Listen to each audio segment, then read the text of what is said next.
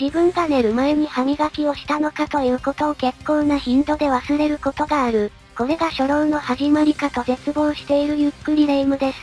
口の中にほんのりと歯磨き粉の感じが残っているんですけど、結局はそれを信用できずに再度歯磨きをするんですよね。そして歯を磨いている最中に30分ぐらい前に磨いたじゃん。と急に思い出す。歯だけは特別にケアをしている歯医者が怖いゆっくり悟りです。今回は三国志武将紹介。紹介するのは劉備が皇帝に即位することに対して大反対した男、騎士よ。彼はこのせいで劉備からの寵愛を失ってしまうのよね。騎士といえば、三国志演義にもちょこっと出てましたね。確か関羽が五個大将軍になるのを嫌がっていた時に彼を論破していました。そんな彼が劉備の皇帝即位を反対していたんですか？さて改めて紹介するのは騎士、あざ名を皇居。時世を読むことをせずただ単に劉備の皇帝即位を反対したことを、主君の劉備のみならず後世の歴史家たちからも痛烈に批判された直言か。彼は一体どういった人物なんですか？騎士は駅州県に軍南安県出身の人物で駅州牧、優勝の時代に面畜県令に任命されていたみたい。後に劉備が面畜に攻め込んでくると、騎士は先んじて劉備に城ごと降伏したようね。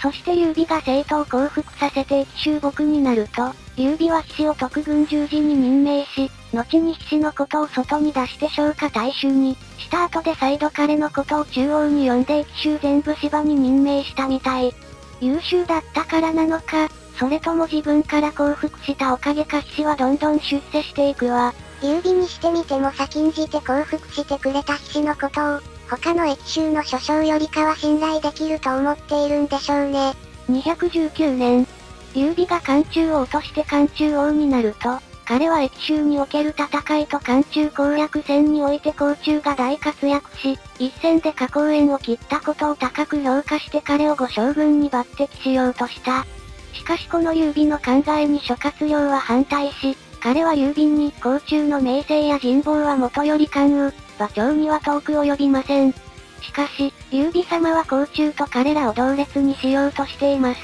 なるほど、馬長や張飛などは目の前で甲中の活躍を見ているのでこの決定にも納得するでしょう。しかし遥か東吉の慶州にいる関羽は甲中の活躍を知りませぬ。おそらくこのことを知ると彼は不機嫌になるのでやめた方がいいかなと、と劉備にそれとなく、話したものの、劉備はあいつは俺が自ら説得する、と言って自分の考えを譲らなかった。そして劉備は騎士を関羽の元に派遣したみたい。劉備自ら慶州に行けば話は早いんでしょうが、そういうわけにもいきませんからね。騎士は劉備の代理人ってわけですか。関羽の元についた騎士は関羽を前将軍に任命する、という劉備の命令を伝えたものの、関羽はこの時に甲冑が五将軍に任命されていたことを知って腹を立てたの。なので関羽は俺のような立派な男が、あのような老兵と同格の位になんてなれるか、と言ってこの劉備の命令を拒否してきたのよ。諸葛亮の不安が的中しました。もう関羽めっちゃ怒ってますよ。しかし騎士は関羽にそもそも王行を立てるにあたって用いる人物が一人だなんてことはありえませぬ。古の昇華、宗信は高祖流法の古参で親しい間柄でしたが、後に祖軍から亡命してきた陳平、関心が流法軍に加わると流法はいきなり関心を大将軍に抜擢しました。ですが昇華、宗信がこれを恨んだエピソードを私は、聞いたことがありません。今、劉備様は甲冑が漢中で一時の功を立てたので彼を抜擢しましたが、どうして劉備様が関羽様と甲冑を同格だなんて思うことがありましょうか？しかも関羽様と劉備様はいわば一心同体の間柄であり苦楽を共にしている間柄です。私が愚行するに、位の上下なんて本当にどうでもいい問題、であり気にする必要はないと思いますよ。まあ自分はただの使者なんで関羽様がこの任命を拒否するというのならば、ただ帰るだけです。ただ、このことを後で後悔するんじゃないのかな、と思っているだけのことで、と述べたの。すると関羽は自分の非を認めて甘んじて前将軍の位を受け入れたみたい。気難しい関羽を説得することに成功しました。220年。曹操が亡くなり、その後を継いだ宗妃が漢王朝を滅ぼして皇帝になると、劉備は漢王朝の皇帝である検定が殺害されたとかいう誤報を聞いていたため、劉備の進化たちはこぞって劉備を皇帝の位につかせようと動いて会議を開いていた。しかし騎士はここで劉備に皇帝に即位するな、というお手紙を送ったの。その手紙には、劉備様は早々親子が検定をないがしろにして位を散奪したので、兵や民を集めてこれを撃とうとしています。未だ総妃に戦いで勝っておらぬうちに皇帝に即位すれば人々はおそらく戸惑うことでしょう。古の時代、UFO は外、先んじて真を破ったものを王にする、という誓いを結びました。しかし、官僚を落とし、死営を捕虜にしながら UFO はその王の位を譲りました。それに職から外に出てないうちに即位するのもどうなのかなと。私は絶対に劉備様は皇帝になるべきではないと考えます、と書いていたみたい。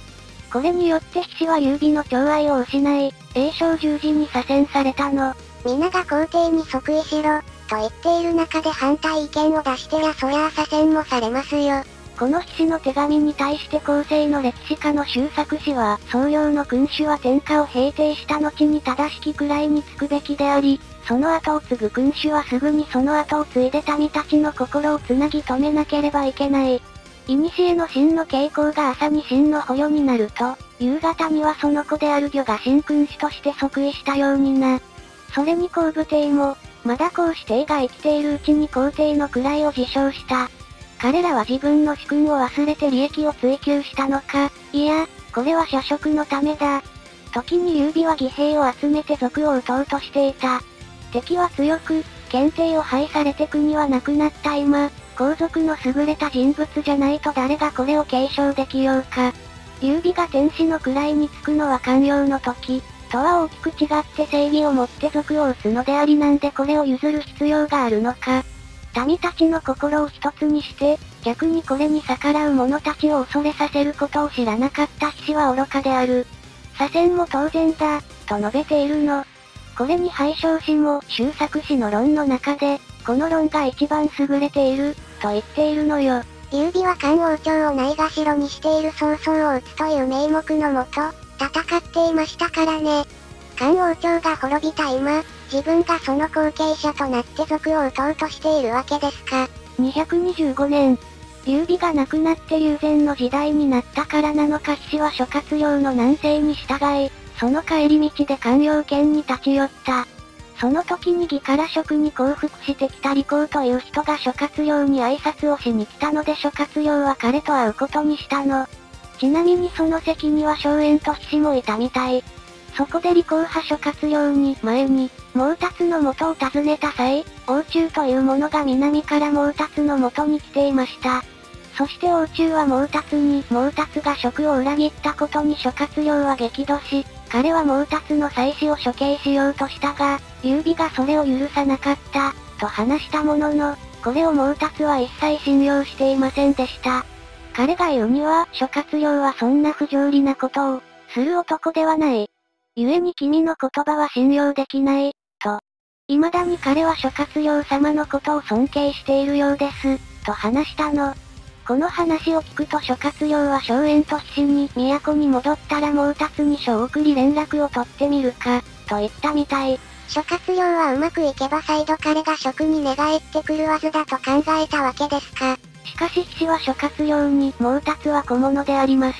昔、優勝に仕えていた頃にすら忠義を尽くさず、後に劉備様の時代にすら謀反を起こしました。もう彼は心変わりが激しすぎる男なのでこいつには手紙を出す価値はありません、と進言したものの、諸葛亮は黙ったまま返事をしなかったみたい。騎士とも二つは元は同じ主君に仕えていた同僚ですからね。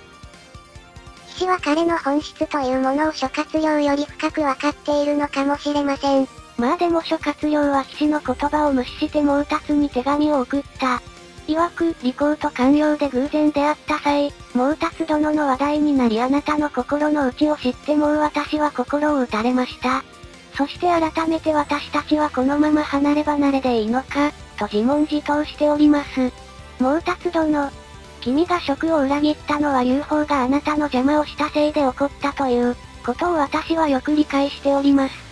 それに利口派王中がデタラメな言葉をあなたに伝えた際、あなたは私の心を推察して王中の言葉を信用しなかったと言ってました。故に国は違いど改めて仲良くしようと思い、手紙を送った次第です、と書いた手紙を毛達に送ったの。そして諸葛亮が何度か毛達と手紙のやり取りをしていると、案の定というか毛達は義を裏切ることを諸葛亮に伝えてきたのよ。二度あることは三度あるとはよく言ったもので、毛達は三度目の裏切りを決めました。しかしこの毛達の謀反は芝居に察知され、芝居は包囲してからわずか16日で毛達を討ち取ったんだけども、諸葛亮もまた、毛達が誠実じゃないので救援をする気が起きなかったみたい。後に諸葛亮が病死して荘園が後を継ぐと氏は官議大夫に任命されたものの、その後に自宅で病死したみたい。劉備の元でも、諸葛亮の元でも検索が取り入れられなかった男でした。その後騎士の子である比率は真の三期常時に任命されたようね。これより後の時代、駅州の非正で名のある地位にまで上り詰めた者はそのほとんどが騎士の子孫だったみたい。陳樹は騎士のことを、騎士は自分の意見を曲げずに主張した。しかし優美の広い度量、諸葛亮の公平的な態度をもってしても騎士の直言は受け入れ、られず出世できなかった。